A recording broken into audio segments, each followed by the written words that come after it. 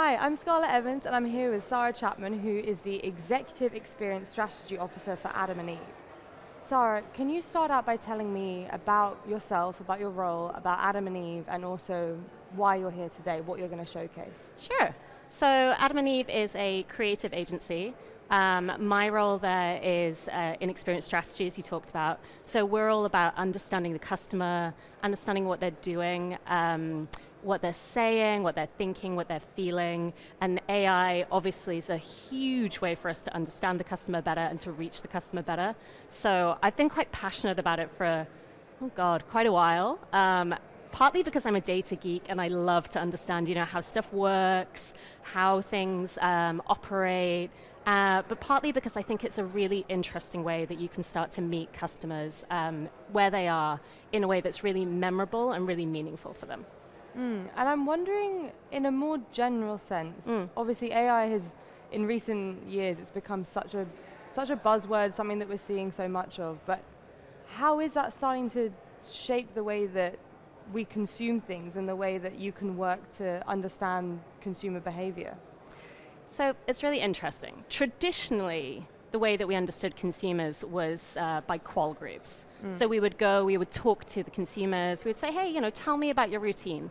Tell me about uh, what you're doing. Tell me why you made that choice. And what data has really enabled us to do is to start to understand the difference between what people say they do and what they really do you know, we're all digital practitioners. We've seen that whenever people are uh, doing anything online, they're leaving behind them these little signals, these little clues about what they're really doing, what they're really thinking. And I think by marrying those two together, you know, we get a far more holistic understanding of the consumer and we get to far more interesting insights. So to give you an example, a few years ago, um, I ran a really interesting project with women where they were talking to me about beauty. And these were women over 40, uh, some in their 50s, 60s. And when we spoke to them in our qual groups, we said, look, you know, tell us what you're doing with your makeup. Tell us if you need help from a brand. And actually what we found uh, in the qual groups was people going, no, no, I'm fine. I've been putting on my mascara for 50 years, love. You know, I don't need any help from some brand telling me what to do. But when we started to look at the data, we saw that women were seeking out help they were Googling, looking for help on how to uh, adjust their makeup for some of the signs of aging. So things like, you know, how do I do my secret uh, like eyeliner flick mm. uh, if I've got a bit of, bit of, a few small lines, let's say, around my eyes? Um, how do I put on my lipstick when I've got a little bit of um, wrinkle around my face? And you know that was really fascinating to us because it was the first time we really saw that difference between what you know a consumer would tell us and what their data would signal to us. Mm. And what AI has allowed us to do is allowed us to find those differences and those patterns at scale. So suddenly, rather than having to sift through manually and look for these differences and uh, look through these, uh, I suppose, uh, small nuggets, we can find many, many small nuggets, or we can find bigger patterns as well. And to go back to your point on buzzwords, you know, there are many people out in the industry saying, oh, this is about cloud computing, or it's about data, or it's about um, a certain technology. But really, if you dig past the buzzwords, I believe that you know, AI is going to help us to be more creative in the way that we uh, understand humans and in the way that we reach them. And that's really where the leaders in the creative industry are going. They're saying, you know, let's get beyond the technology. Let's think about the people. Let's think about we, what we love, our craft, our creativity, and how we can use AI to uh, reimagine how we do that.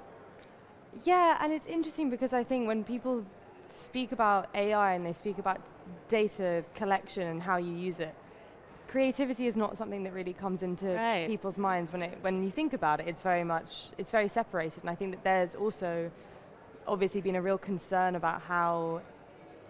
I think uh, not that this is necessarily true, but I think there can be a concern that too much data or reliance on technology detracts from the creativity. But it's interesting speaking to you, and you're sort of saying it's the opposite. It actually gives you more scope for creativity because your understanding of people is is clearer, and so you can respond to it in a better way. Is that kind of a fair assessment? That's that's really fair. It's clearer, it's richer, it's more nuanced. I think we've stopped thinking about people in these big segment groups, and we've started thinking about them as individuals. So you know, what can I see um, that this person has? Let's say I'm a I'm a travel agent. What can I see that this person has booked recently? What can I see about their travel patterns? How do they behave when they are at the airport, or how do they behave when they're on the plane? And how can I pull that down into an individual profile that I can then use to serve them better, to do more interesting things, to give them a better experience. Mm. And you know, when we when we take those kind of uh, data points and we put them in a human context,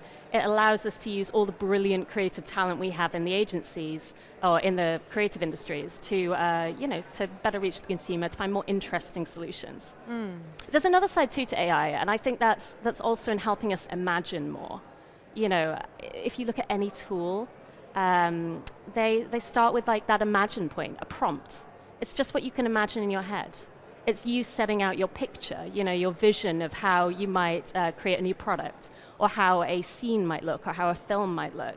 And so AI is enabling people to better visualize their ideas, to bring them to life faster, mm. to bring them to life in a way that uh, maybe is more granular, easier to understand if you don't have the technical knowledge.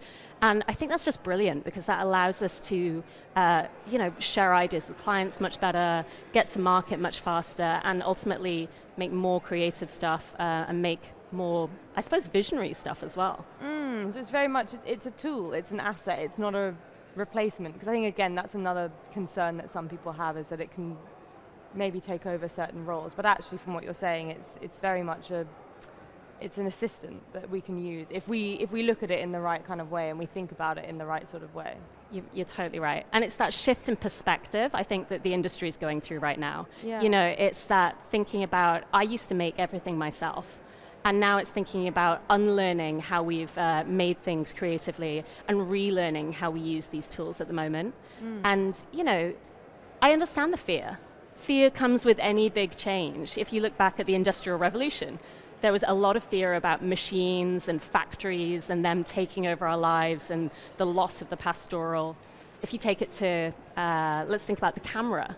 Mm. When the camera first was invented, you know, people were, who were painters, they hated the camera. They said this is going to eclipse painting, we're going to lose the art of painting. And we haven't lost the art of painting. You know, we've got painters and we have photographers now. Mm. And the same when you look at Photoshop. When Photoshop came in, again, there was a big resistance and people talking about shooting stuff in camera, so without the use of technology. Um, and now we've embraced Photoshop, we're able to do brilliant things with it. So I just see this as the next evolution of how we use our creative talents. Mm. And actually quite a balancing of creative talents. So I'm a person who, I love words. Mm-hmm. Uh, I was a wannabe writer when I was a teenager growing up. And actually, I'm terrible in Photoshop. You know, I am okay at Instagram, I can use a filter, but when it gets to Photoshop, it's difficult. And suddenly with AI, I have the power to make a prompt, to generate my ideas, to share them in a visual way that people who aren't um, sort of, you know, aren't inspired by words, they're suddenly inspired by it as well. So it kind of levels the playing field back a little bit. Mm. Because, you know, recently we've really swung very hard into visual creativity. We've seen TikTok creativity, we've seen uh, lots of people using, uh, you know, video editing apps.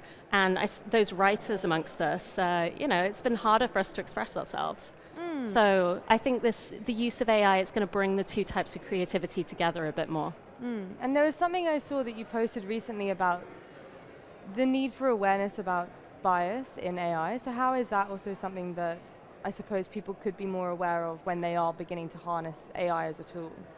Yeah, this is really important. Uh, so important to me as well. You know, I think AI is only as good as the data we put into it. And the problem is, is that the data we have at the moment, it represents society. So the society to date, it has been very biased. You know, if you look back at images of CEOs, they are often men. If you look back at uh, images of uh, athletes, or any image in fact, there's an underrepresentation of minority communities. And that's going to come through in AI. And I, I think that's something that historically we haven't necessarily looked at how the tools that we use work. You haven't pulled apart your camera and said, oh, how does this camera work? Mm. But with AI, it's so important that we pull apart the data that's gone into it because otherwise we're going to keep perpetuating those biases. We're going to keep working with them and we're going to generate work on top of them, which then goes back into your training data, back into feeding the AI, mm. and ultimately, you know, it doesn't change society. So I always try to get people to question, you know, where's this data come from? What might the biases be that are in it? And what can I do that is going to change these biases? It's going to be a slow process. You know, we're not suddenly going to change the canon of art that's out there. We're not suddenly going to say, well, you know, there's, there's far more uh, female representation in classical art. We can't do that. Mm. But what we can do is we can start to make sure that we're aware of the biases we're creating, we're feeding in new data to train AI, so we're leveling that bias. Mm. And when we get work back, we're saying, is this the full perspective? Or is it a perspective maybe that represents the data set that's gone into the AI? Mm. You know, is it something that maybe I could add to? Is it something that maybe I as the human should tweak? Mm. And to go back to our, our discussion earlier on creativity, I think that's where a really interesting frontier of creativity is going to come from. You know, it's looking at what comes out of the AI and looking at how we add that human perspective and that human understanding, mm. and we make the output better. Yeah, I feel like I, I have one final question. I, yeah. I feel like you've sort of answered it in what you've said already, but just, I guess looking forward, looking at the next 12 months when it comes to the use of AI in your specific industry, what are some of the things that you're expecting to see, or maybe that you hope to see? What I would hope to see is curiosity. Mm-hmm. So the best creatives are going to be the ones that embrace AI. They're going to be the ones that fiddle with it, that look at prompts, that look at what comes out, that find new tools and experiment. Mm. So I would really hope to see uh, creatives really embracing that, really looking at um, how they can improve their craft and how they can uh, change the way maybe that they ideate or change the way that they think about creativity. Mm. And then from a, a, data kind of point of view, I would love us to start being less afraid of the data. Mm. You know, for people who aren't data scientists to start questioning how things work and what data came in and how they might change uh, the data that their organization is collecting so that when they apply machine learning or when they apply AI to it, they're sure that they're getting a really consistent representative out answer out of it. Mm. Well, I hope so too. I mean, it's, it's a really rich subject matter mm. I guess we all just kind of have to wait and see what the next 12 months holds. But thank you so much, Sara. Thank you so much for speaking to us. And thank you so much. This has been AI Business TV. Thank you.